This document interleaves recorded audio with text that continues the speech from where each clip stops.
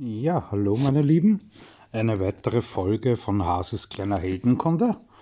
Und heute stehen am Programm Grasul, ein Fünf-Stern-Held und Melendor, äh, sicher bekannt, weil von Anfang an quasi im Spiel ein Vier-Stern-Heiler. Und wir wollen uns anschauen, wie nützlich oder brauchbar sie zum Zeitpunkt des Videos noch im äh, Spiel sind, wie gut man sie noch verwenden kann.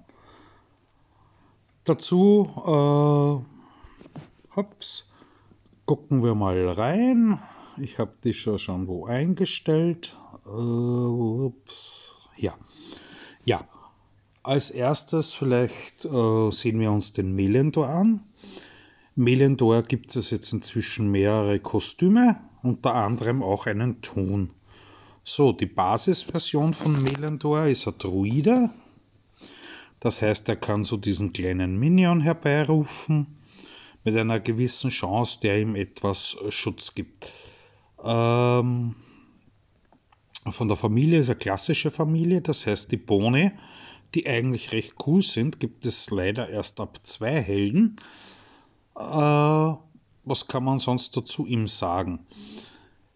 Ich finde ihn vorab schon gesehen, auch für die jetzige Zeit noch immer ausgesprochen nützlich und ich verwende ihn auch in Gildenkriegen und bei Überfällen. Bei Titanen hm, sehe ich jetzt nicht unbedingt einen Platz für ihn, außer man braucht dringend einen Heiler fürs Team. Er hat mittlere Geschwindigkeit, von den Werten her, mit den Kostümen natürlich dazu, ist er für einen Vier-Stern-Helden nur durchaus okay. Natürlich weit jetzt den neuen Fünf-Stern-Helden unterlegen, das ist klar. Aber durch die Toon-Version dann kann er auch einiges abfangen. Hier in der Basisversion hält er 42%, das ist gut. Und warum ich ihn heute noch so gerne nutze auch, er entfernt Boni von allen Gegnern. Die anderen Versionen gucken wir uns auch kurz an. Ah, ich wollte nicht wegdrücken, sorry. Und das schon gar nicht. Ist immer schön, wenn es nicht aufs freie Feld hopst. Äh, gucken wir mal, wo den, ich glaube, den Ion hatten wir damit. Ja. So. Melendor. Ach ja, ich hasse es am Handy, ehrlich gesagt. Hier ist eine Kostümversion. Da ist er dann ähm, Zauberer. Er heilt hier über Runden. Die Werte sind ein bisschen ähnlich. Entfernt ebenfalls Boni von allen Gegnern und er gibt allen Verbündeten plus 50% Angriff für drei Züge. Eigentlich nette Sache. Das ist nämlich ganz schön guter äh, Damage Boost aber ich verwende in dieser Form quasi nicht, weil ich mag Helden, die über Runden heilen, nicht sonderlich gerne. Ja, es sind zwar dann so ungefähr 200 Leben pro Runde, aber bei den heutigen Gegnern, wo der gleich mal so 1000 oder mehr Schaden reinkommt, sind halt die 200 Heilung pro Runde nur ein Tropfen auf den heißen Stein. Das war das erste Kostüm, wo er ein bisschen so an Gandalf erinnert. Da ist er von der Klasse äh, Magier. Hatte dann die Möglichkeit, äh, eine 50% Chance, 15% zusätzlichen Schaden zu verursachen. Ist für ihn relativ wertlos. Er entfernt ebenfalls die Boni vom Ziel. Äh, auch diese Version verwende ich quasi gar nicht, weil es ist wieder dasselbe, wir heilen über Runden. Diesmal geben wir unseren Verbündeten hier nicht Angriff, sondern Verteidigung. Die Version, die ich verwende, ist die als Ton, weil er als Ton ebenfalls 45%, also so ziemlich ähnlich wie die anderen drei Versionen, äh, alle Verbündeten heilt, aber also wie die Basisversion, aber halt auf einmal. Er gibt allen Verbündeten 34% Verteidigung, ist auch ganz gut, kann man brauchen. Und er entfernt wieder Boni von allen Gegnern. Und das ist der Grund, warum ich ihn mitnehme. Es ist klasse, wenn wir unsere Helden heilen und gleichzeitig noch Boni von den Gegnern entfernen können. Äh, und als Passiv kommt dazu, dass er auch doch durch dadurch, dass er hier ein Tun ist, relativ robust ist, weil er den meisten negativen Statusänderungen widersteht. 75% ist angegeben, auf der eigenen Seite sind es gefühlt meistens nur 50%, beim Gegner 100. Ja, so ist es halt. Ich zeige ihn nachher dann noch kurz her. So, Held Nummer 2, ebenfalls in die Jahre gekommen, den wir uns ansehen, ist Grasul. Grasul ist von der Klasse Kleriker, das heißt, wir haben die Chance, negativen Mana-Effekten und Effekten, die die Nutzung von Spezialfähigkeiten verhindern, zu widerstehen. Äh, sie kam 2019 ins Spiel, das heißt auch jetzt schon fünf Jahre her zum Zeitpunkt des Videos. Ihr seht, meine ist noch nicht fertig gewappnet. Ich habe auch Brick 1. Der Familienbonus, falls ihr mehrere verwendet, gibt es bereits ab einen Helden, ist plus 10% Angriff, hilft ihr jetzt nicht sonderlich viel, weil sie ja ähm, quasi keinen direkten Schaden macht. Ein bisschen halt für die Steine, aber das war's dann schon. Äh, als Passiv, dass wir Heilungsverschlechterungen widerstehen. Das ist ganz gut. Äh, sie war, wie sie ins Spiel gekommen ist, war sie durchaus äh, brauchbar, dass man sie auch als Tank aufgestellt hat. Äh, für heutige Zeiten natürlich ist sie da von den Werten um einiges zurück. Im Laufe der Zeit, sie ist sehr schnell. Äh, das bedeutete damals bei den älteren Helden sehr schnell, das, was sie können, ist meistens nicht sonderlich stark. Bei einigen neuen Helden hat sich das geändert. Wenn die sehr schnell waren, können die trotzdem wie Kanone reinknallen oder heilen oder was auch immer. Damals war es halt so sehr schnell hieß, ah cool, du kommst zwar sehr schnell dran, aber dafür magst du halt was immer du auch tust, nicht sonderlich stark. Sie heilt jetzt alle Verbündeten um 22 Prozent. Das ist nicht sehr viel. Wurde im Laufe der Zeit äh, schon ein bisschen gepusht. Es war vorher noch weniger. Was sie auch für heutige Zeiten so wertvoll macht und warum ich sie so gerne mitnehme noch, ist die zweite Fähigkeit, die wir hier lesen. Alle Verbündeten sind für zwei Züge immun gegen neue negative Statusänderungen. Zwei Züge ist nicht lange. Das erfordert also bei ihr ein gewisses Timing, wenn man sie einsetzt. Was meine ich damit? Zwei Runden lang, nachdem sie aktiviert wurde, können Gegner, wo es ja heute wirklich krasse Werte teilweise gibt, kein Gift äh, auf euren Helden anbringen, keinen Wahnsinn, also Wahnsinn habe ich noch nie ausprobiert, gehe ich aber mal davon aus, dürfte ein Effekt wie der andere sein. Kein Gift, keinen Feuerschaden überrunden. Alfrike kann euch nicht äh, dazu bringen, dass ihr eure eigenen Helden angreift oder Kullerwo, glaube ich, hieß der Skandinavier. Alles das blockiert sie, dass sie an euren Helden, dass es an euren Helden nicht angebracht wird. Die Scorpion Lady, da die glaube ich über 1000 oder keine Ahnung, 1200 Giftschaden macht oder so, das wird geblockt. Wird, kriegt ihr einfach nicht ab, wenn sie aktiv ist. Warum das Timing so wichtig ist? Die zwei Züge sind kurz, das heißt, ihr müsst relativ gefühlt abschätzen können, wann kommt welcher für euch in diesem Fall gefährliche Held zum Einsatz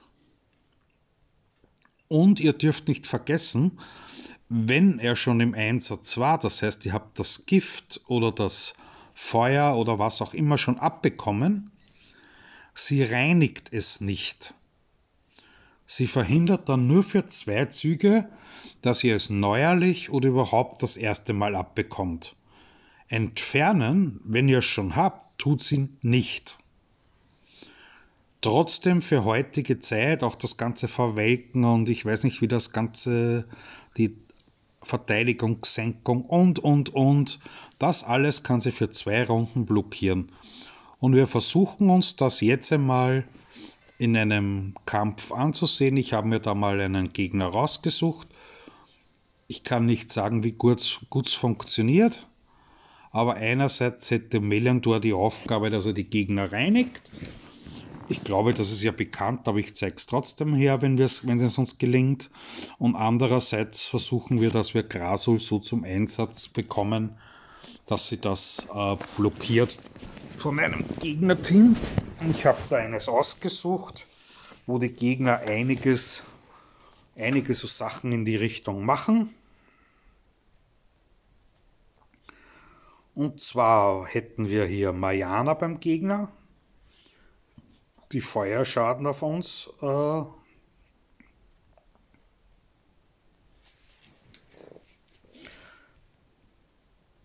In dieser Version glaube ich nicht. Äh, genau.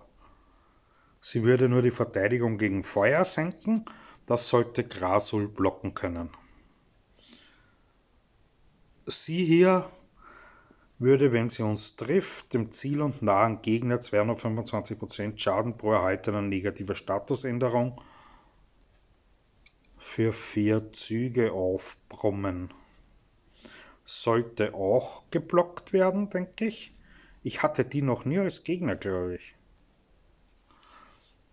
Dann sie würde hier einen Gegenschlag machen, sollte Melendor entfernen können. Sie hier macht gleich einiges, zum Beispiel minus 40 Genauigkeit, minus 34 Verteidigung, alles für sechs Züge, also ziemlich mühsam. Heißt, Grasul sollte zumindest Lucindra und Mayana blocken können. Also nur diese Fähigkeiten, ja, nicht den Schaden. Und Melendor sollte das Reinigen hier von der Asmia, äh, den Gegenschlag von der Asmia entfernen können. Äh, ja, dazu müsste man natürlich mit dem richtigen Team reingehen. Das hier war es jetzt nicht. Das war das, was ich schon eingestellt hatte. Sorry. Ich hasse das, dass man das jedes Mal wieder neu richten muss. Und ja, damit haben wir jetzt natürlich den nächsten Gegner. Aber das würde auch passen. Wir haben hier einen Baum, der uns minus Angriff geben würde, minus Verteidigung. Hier haben wir wieder eine Asmia, die Gegenschlag machen würde. Wir haben Telluria, die uns verlangsamen würde. gucken wir es uns an. Minus Mana-Regeneration, also die Mana-Regeneration verlangsamen würde. Wir testen es einfach aus. Die Bomben von Barclay, könnte ich mir vorstellen, würde es auch abfangen. Wir testen.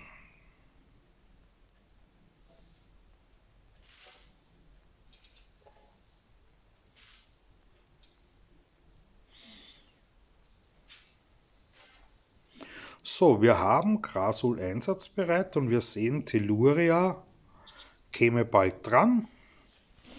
Und bei Telluria käme jetzt neben den Schaden, dass sie auch natürlich die Gegner alle regenerieren und dass wir minus 24 Mana Regeneration für zwei Züge bekommen würden. Und das sollte von Grasul geblockt werden.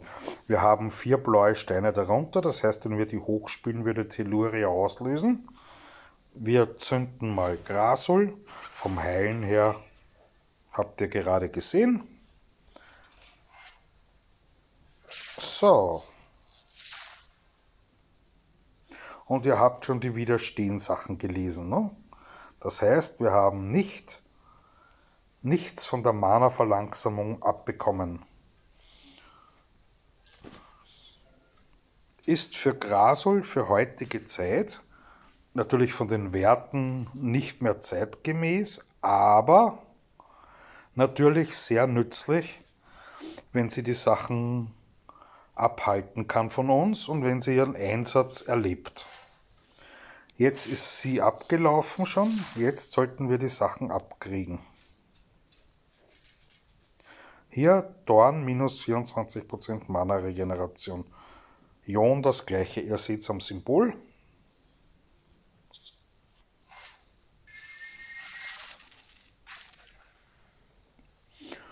Und ja, Melentor, den Guten, haben wir noch immer nicht in Einsatz bekommen und ich habe eigentlich nichts wirklich brauchbares Grünes da. Und zur Not starten wir dann einfach ein zweites Mal, das ist jetzt nicht so tragisch.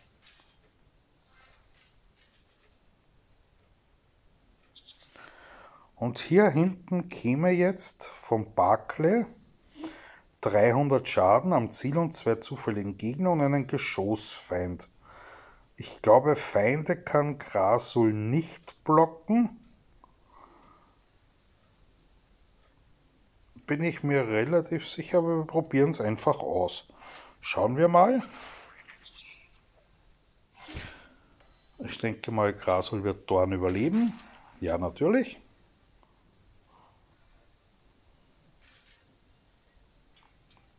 Achso, ja, Dorn Cloud Mana. Hatte ich vergessen in dieser Version vom Kostüm. So, jetzt gucken wir mal, kriegen wir die Feinde ab? Ja, Feinde kriegen wir ab, wie ihr gesehen habt.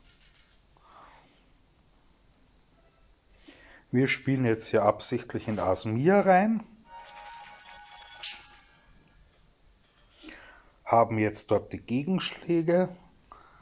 Das heißt, würden wir da jetzt draufhauen, kriegen wir Konter mit 100% des erhaltenen Schadens. Entfernen wir mit Melendor. Konter ist weg. Wir versuchen uns Grasol wieder zu holen, wenn der Baum einsatzbereit ist.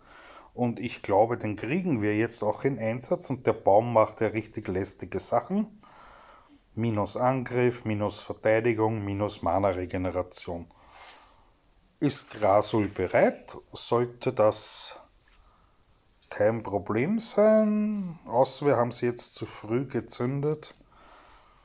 Leider ja, weil der Baum steht so blöd da hinten, dass wir den nicht erreichen. Das heißt, ich habe keine Steine mehr, die ich in ihn reinspielen kann. Aber Grasol ist wieder bereit und jetzt ist er geladen. Und wir lassen den Baum auch auslösen.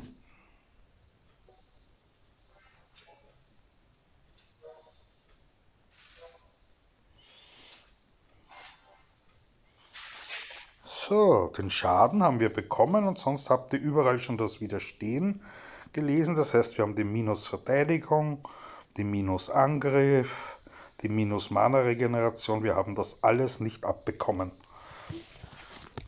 Für zwei Züge sind wir auch sicher davor.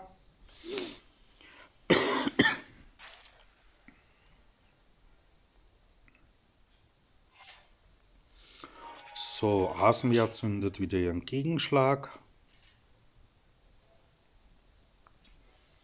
Wir reinigen das mit Melendor und dann schlagen wir zu. Und jetzt ja, spielen wir es einfach heim, weil ich glaube, gesehen habt ihr ja, um was es geht.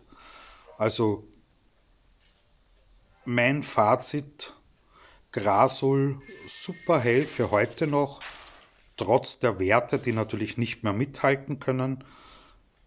Viel Timing nötig, kein Titanenheld, aber für die Kampfeinsätze super geeignet. Melendor meiner Meinung nach besonders als Tun wirklich sehr brauchbar wenn ihr gegen Gegner spielt, die so entweder pausenlos Verteidigungsschild drauf haben, Gegenschlag, was weiß ich auch immer, welche Buffs, auch sonst was, die ihr entfernen solltet. Melendor mittelschneller Heiler, nur 4 Stern, aber als Tun halbwegs robust, durchaus nützbar, aber ebenfalls kein Titanenheld. Gut, das war's soweit für diesmal. Ich hoffe, es hat euch Spaß gemacht und wir sehen uns bei der nächsten Ausgabe von Hases kleiner Heldenkunde wieder. Tschüss und gute Boards.